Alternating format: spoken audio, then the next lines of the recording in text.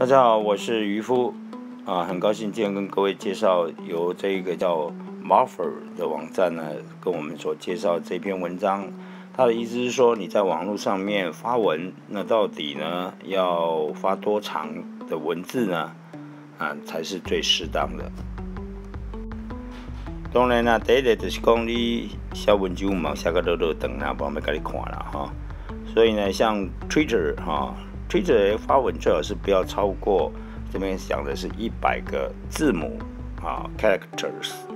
那么一百个字母表示讲的是英文，呃，差不多五个英文字母是一个中文，所以呢，一个汉文字呢，那么这样讲起来大概是不要超过二十个字。所以这一张图表呢，表示说你要是在七十一到一百个字母的英文字。那么人家帮你转化的机会呢是最多的。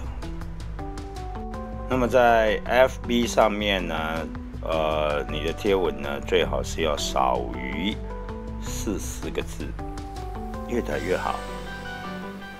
那么这里特别提到，如果你的文字是少于四十个，那么获得的这一个参与率就会高达八十六 percent，也就是说，人家会跟你按赞啊、留言啊、分享的次数会更多一点。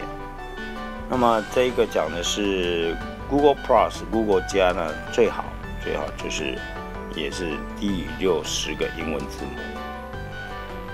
总之呢，大部分的标题呢都是不要超过六个字啊，不是字母，是六个字啊。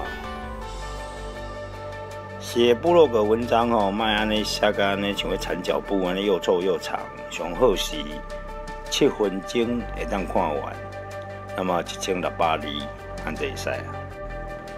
那么这张图大概是咧讲，你若是到呃七分钟啊，这个范围内底呢。啊，文章可能关注的较多啊，但是呢，若是讲啊，相片啊、图片比较多的话，那文字就可以增加一点啊，比如说到一千个字以内。文章左右的篇幅呢，大概就是在于四十到五十五个字母。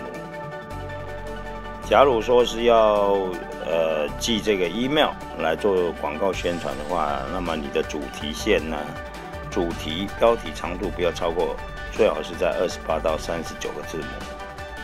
那这里的这张图非常有趣，就是由 TED 的研究认为呢，任何的 presentation，也就是你要做展示啊、演讲啊等等，那么最好的时间呢，就是啊 TED 演讲，诶，大师们演讲的长度差不多就是十八分钟是最适合的。那这里在讲的是说要贴做标签。那么一般我们写完一篇文章以后，要做一些标签哈，在这个搜寻的时候比较容易找得到。那么你的标签忙忙乐乐等啊，所以最好呢也是五十五个字母之内。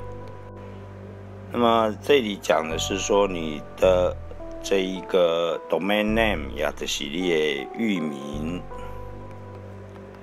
那么最好呢是不要超过八个字母。比如说，呃，外一张签簿跟着渔夫 link net，就是这么简单。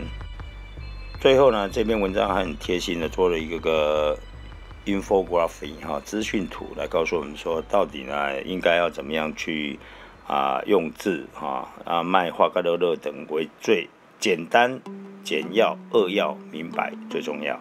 好，多谢循环，我是渔夫。